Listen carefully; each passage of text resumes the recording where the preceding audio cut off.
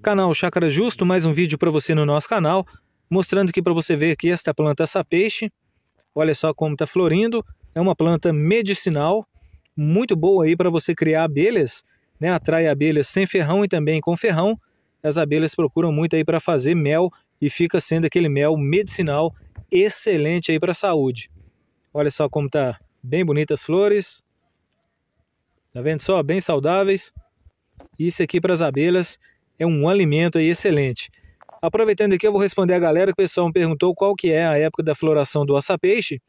Então é o seguinte, aqui o açapeixe, geralmente, ele produz flores aí entre junho e agosto, também de janeiro e abril, né? Aqui sempre nessa, nesses meses aí produz muitas flores, depois tem as sementes, né? E qualquer ventinho que tem, as sementes é, vão para todo lado aí que o vento esparrama semente para todos os lados. Inclusive tem que fazer um controle aí, senão essa peixe vira praga e toma conta aí de todo o terreno. Né? Uma semente muito levinha, qualquer vento esparrama aí por todos os lados. Então tá aí mais um vídeo para você aqui no canal Chácara Justo, respondendo o pessoal que me perguntou aí qual que é a época da florada do peixe.